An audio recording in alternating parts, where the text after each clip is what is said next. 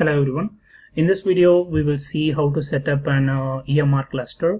Uh, so for this, you need um, an AWS account. Um, so I'll prefer to go to uh, the AWS uh, Educate account. So for students, uh, they will, if you sign up with the university email, uh, you will get $75 credit.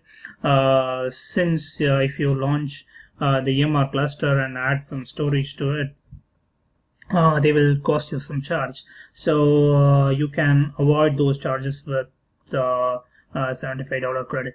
So let's see how to set up the EMR cluster. Uh, for that, I already signed up and I'm just going to sign in to my account.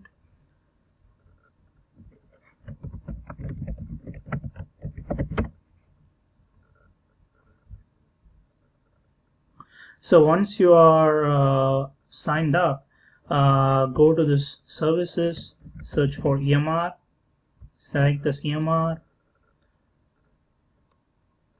So now I have created some set of clusters, uh, but for this video I'll create a new one. Um, you can rename this cluster name as uh, say class cluster. And uh, you can uh, leave the other options as default. So for this applications uh, it depends on the task that you do. Uh, say if you want to do Hadoop or uh, Hive or big tasks uh, it's good to go with the first option or even with the second options uh, you can do that.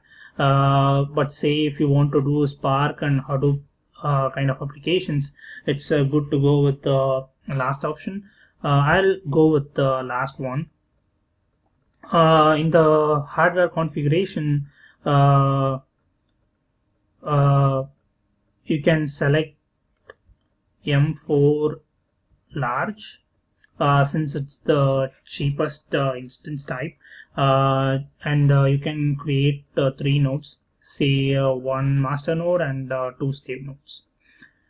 And before going to this EC2 key pair I have to change some configurations um, uh, for this say so uh, I'm, I'm going to run uh, Hadoop Hadoop program uh, in this cluster. Uh, but the problem is if you if you create this uh, default cluster, it will throw some errors. So we need to do some configuration changes before we create this cluster.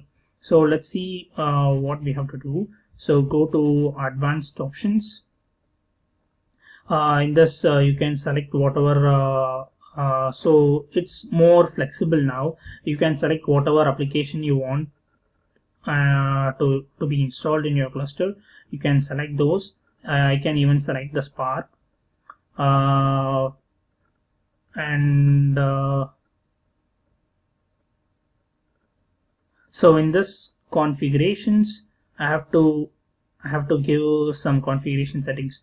So I will I will post these uh, configuration settings uh, in the in the in the space below uh, the video. So we can copy and use it while creating your cluster.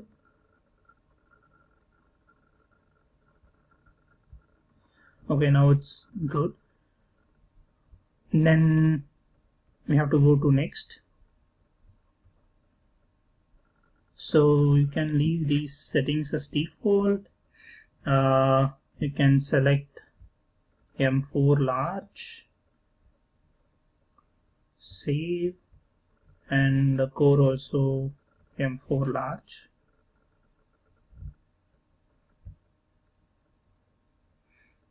And uh, it should have two instances.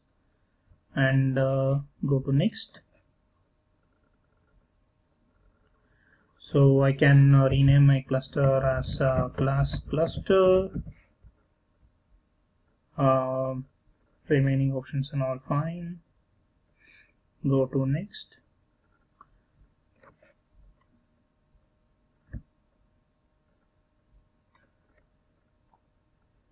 So now we have to create an uh, EC2 key pair so this EC2 key pair is uh, uh, mainly used when you want to access or uh, or uh, run your jobs in the cluster from your local machine. so for that we need a, a, private key pair to access the cluster remotely. for that we need to create an EC2 key pair. So below here, if you see, there is some there are some links to uh, to create Amazon uh, EC2 key pair.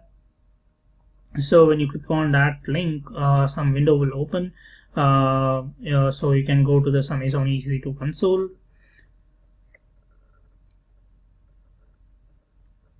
And uh, if you search for key pairs, you can find one in the network and security tab and uh, I have some key pairs here but I'll create a new key pair for this video so click on create key pair and uh, say class key pair you can you can name it as you want uh, but now I'm I've given a key pair name and uh, creating it. So now I have the key, pair and it got downloaded as a .pem file. Uh, then the next step is uh, for Windows you need to download software called uh, Puttygen uh, you can go to this link and download the PuTTYgen uh, but for Mac uh, they have some uh, some command uh, to run that .dot .pem file if you run that then I think I think uh, it's uh, some sort of uh, setting permissions to that file. you need to follow these steps to to to access the cluster or the AWS files uh, from your local machine. Since I'm running for Windows, uh, I'll, I'll, go with the PuTTYgen. So I have already downloaded the software and downloads once you open the PuTTYgen you have to click on load uh, I've given as class key pair now I have successfully imported my column key. Click OK. Uh, now we have to give a, a key passphrase. Uh, so once you uh, once you enter uh, once you enter the uh, remote login it will ask for you the passphrase so it's like a password. Uh, so you can give like uh, any password. I'm giving it as class. And uh, you can save it as a private. You can name it as uh, the same name uh, that we gave. Uh, but remove this extension and save. Now it got saved Uh, now we can go to the EMR cluster setup page uh, and uh, we can select the EC2 key, EC2 key pair as class key pair and create the cluster. there are some errors in it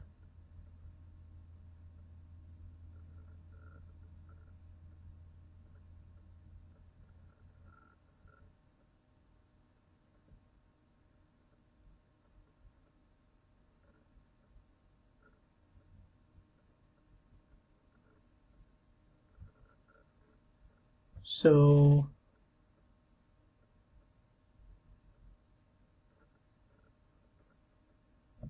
I think it has to be in a JSON format. So let's try this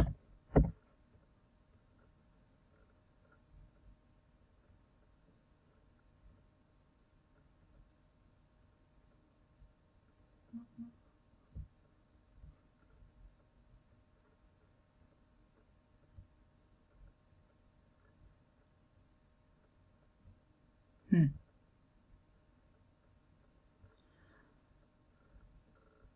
I will uh, fix this fix this error and uh, and show you how to do that. Okay now I think I have fixed the issue. There is uh, some formatting issue in the while, while giving this configuration. Now I think it should work fine. Uh, let's check with that. Go to next next again. Next again. Create cluster. Oh, still having the error. Hi everyone. So I think uh, I fixed uh, the issue. Now I uh, left uh, this curly bracket. So now I added it. So let's see if it is working now. Uh, okay. Class key para selected create cluster now you can see this uh, cluster is starting. Uh, it will take uh, another uh, 10 to 15 minutes for this cluster to get started. Uh, by the meantime what we will do is we will go to the AWS account again. And uh, we have to create a storage space. Uh, I'm going to AWS account sign into the console search for S3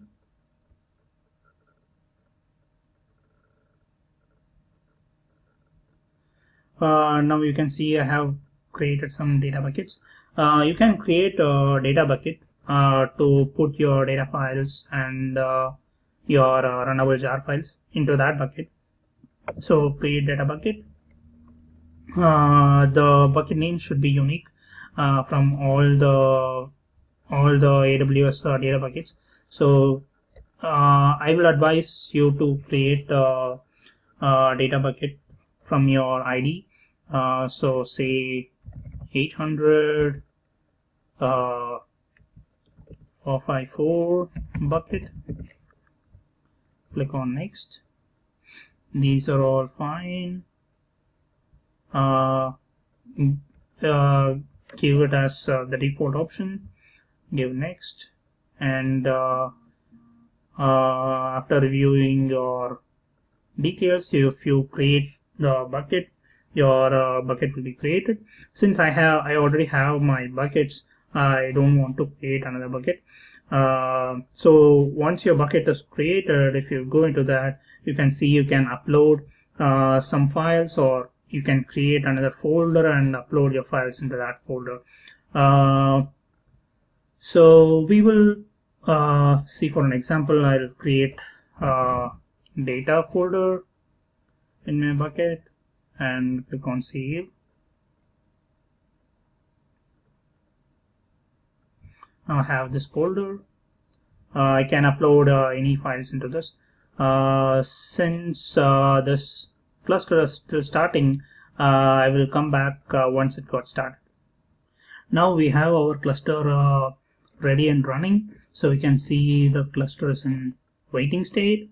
Uh, to access this cluster anywhere uh, we have to change some security configuration. So select this uh, option security groups for master.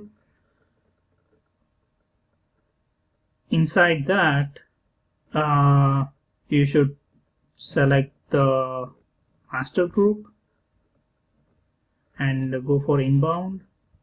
Click on edit uh, in the below you can add rule uh, give SSH change custom to anywhere and see. Now we have the cluster ready. Uh, since I'm using uh, Windows, go to PuTTY. To access the cluster, go above, click on SSH, uh, copy this Hadoop, give here, uh, expand this SSH, give authorization, browse and select that uh, .ppk file. I given as a class, uh, give open, and they ask for uh, passphrase that I gave and give it as class. Now we have our cluster ready. We can access our files or run the jobs over here. And uh, for for Linux, go with SSH command. Thank you.